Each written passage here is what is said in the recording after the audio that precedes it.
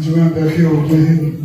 कर्नाटक शाह जनाब उबैदुल्ला शरीफ साहब और Anjuman Taraqqi Urdu Hind. Secretary, general secretary जनाब मुबीन मुनवर साहब, नायब सदर जनाब सैयद अशरफ साहब। नाजरीन, सदाए हिंद उर्दू में आपका खैर मकदम है।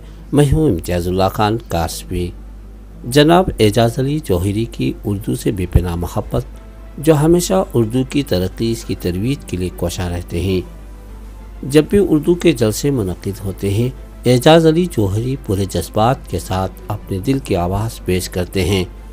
इन्होंने गोरी नूर में उर्दू को सबकी पसंदीदा ज़बान बनाया जाए, उनवान के पेश नज़र अंजमन तरक्की उर्दू, हिंद, जिला चिकबलापुर और सदाए हिंद उर्दू के जेर अहतमाम मनद किया गया प्रोग्राम के मौके पर अपने जज्बात का इजहार किया।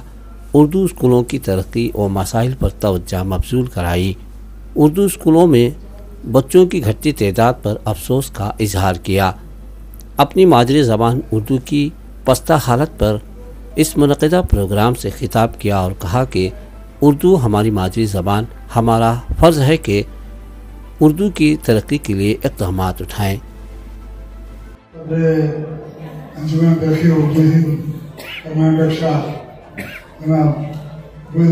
साहब और Anjuman Taraqqi Urdu Hind secretary general secretary जनाब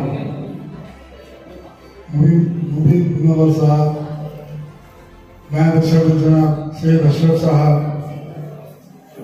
और दीगर शह नशिस्त तशरीफ़ फरमा तमाम हजरात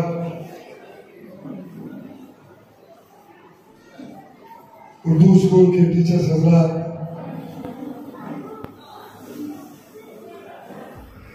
मुझे समझ में नहीं आता कि मैं क्या बोलूँ, कि क्या नहीं बोलूँ।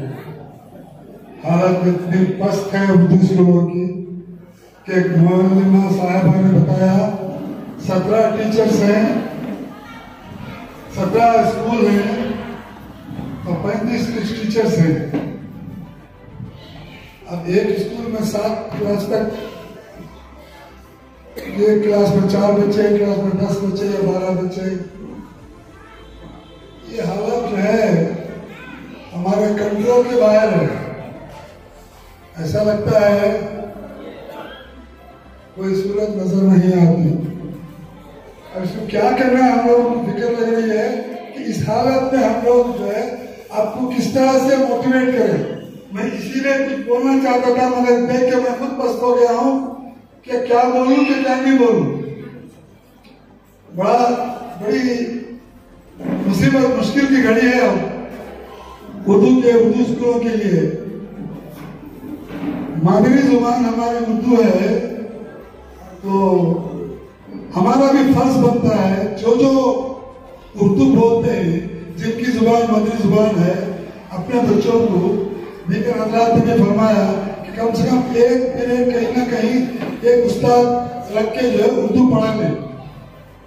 बच्चा जो अगर हमारी ज़ुबान से पिछड़ गया तो हमारा कल्चर, हमारी सोसाइटी, हमारा दीन, हमारा इस्लाम से भी पिछड़ जाएगा। मैं कह रहा हूँ